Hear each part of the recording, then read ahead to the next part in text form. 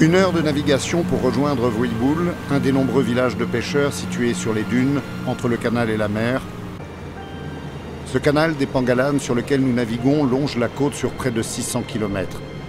Imaginé et conçu par les colons français à la fin du 19e siècle, il continue encore aujourd'hui de relier le port de commerce de Tamatave au cœur du pays.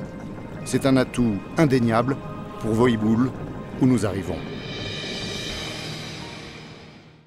Nous y allons pour rencontrer le nouveau chef d'exploitation du site, Alex, qu'Olivier n'a pas eu de mal à convaincre de s'installer ici.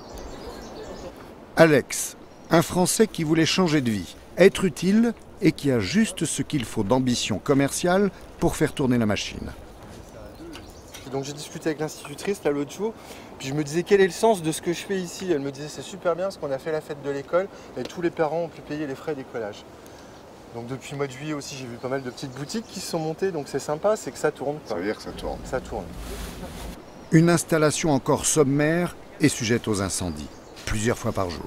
Oh, il y a le feu là La moitié du toit est partie en fumée ce matin. Il faudrait, on le sait, une couverture en tôle, des murs en briques. On se regarde avec Olivier. L'addition est salée pour Alex qui n'a pas les moyens d'investir.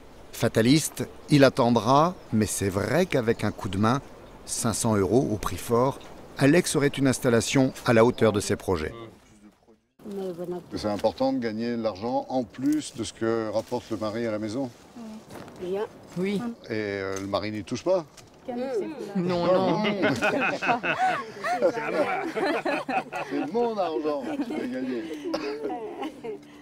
Mon argent, je le dépense d'abord pour nourrir ma famille et aussi pour payer l'instituteur des enfants.